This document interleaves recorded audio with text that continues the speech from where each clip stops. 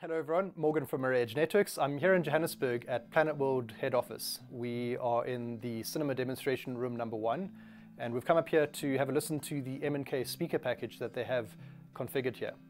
What we have in this room is a MP300 series front speakers which are left, center, right behind the projection screen.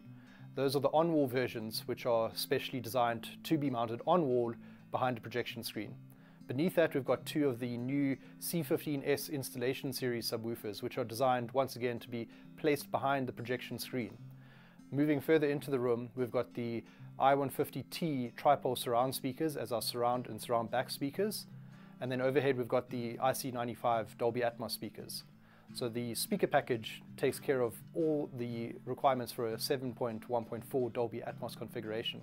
The benefit of this room is that the amplification is actually being handled by Parasound amplifiers. Parasound, which are based out of California, manufacture some of the highest quality amplifiers that are available for surround sound amplification. So we've got the A31 series amplifiers for the front soundstage, A52 series uh, amplifier for the uh, rest of the speakers, and using some of the Zone Master amplifiers for the Atmos channels. The actual processing has been taken care of from a Pioneer Elite surround sound processor, and that's in an equipment rack that's outside of this room. To wrap up the rest of the configuration, we've got a JVC NZ7 projector, which has provided an absolutely phenomenal picture on this projection screen, transparent microperf projection screen, so that we get a really exceptional image from this projection screen. To control the entire room, there's a Savant handheld remote control.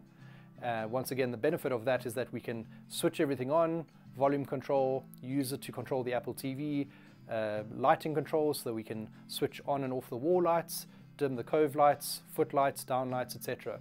So the room is very easy to be used and provides a very enjoyable experience. So it's been a really great experience to be in this room. Uh, I think some of the key highlights and the important factors to consider are the front soundstage here being the 300 series M&K speakers really provide absolutely phenomenal dynamics. They're very clear, they're very transparent, they allow you to really enjoy the dialogue and any effects that are coming from the front of the screen. And then the subwoofers, being the installation series 15 inch subwoofers, really dig down deep and give you some of that visceral chair shaking bass that you would expect from a really nice big room like this. So it's been a great experience being here in this room, highly recommended. If you're looking for a room like this and would like to discuss a design and how to approach getting to the end goal of a room like this, please get in contact, be more than happy to help.